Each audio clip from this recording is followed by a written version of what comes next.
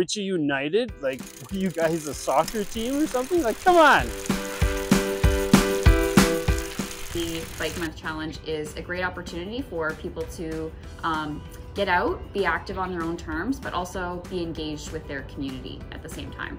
The Bike Month Challenge is um, really good. Like June tends to be busy. Everyone's kind of getting into summer mode, but it helps ground the communities, I think, and um, that sense of competition is always fun.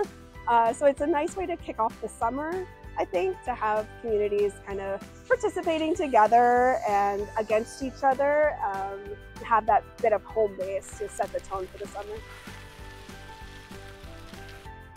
So there's definitely, I would say, a tone of trash talking associated with the bike challenge. Uh, and I think that was set before I got involved, but it's very fun.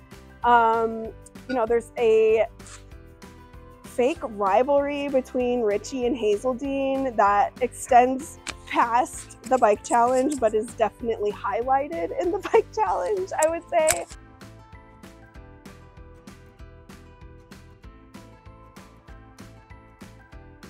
I was the creator of the challenge, and uh, the way that it started out was uh, back in 2019, uh, two nurses um, came to our board meeting and they mentioned, you know what, January is the worst month for depression and suicides. And that is how the mental health challenge was created.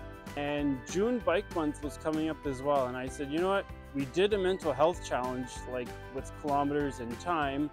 What if we do a June Bike Month challenge? And that's how this was created.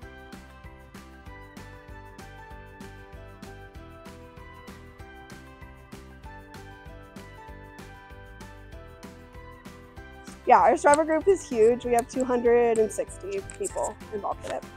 Like we are Argyll Peloton, and right now we've got 10% of our residents joined in this challenge. I mean, I don't think Ritchie can say that.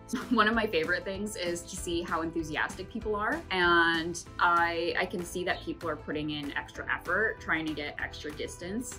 Um, and even people that aren't even on Strava are emailing me with their, their distance. So I know that people have taken note of it and are, you know, trying to propel us towards this, um, towards this common goal mm -hmm. of getting the most. We welcome more challengers.